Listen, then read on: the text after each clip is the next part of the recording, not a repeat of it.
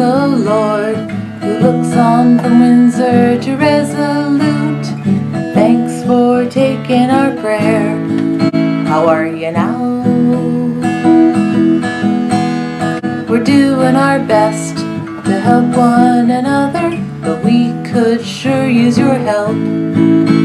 Could you make sure, please? We've all got coffees and enough Timbits to go round.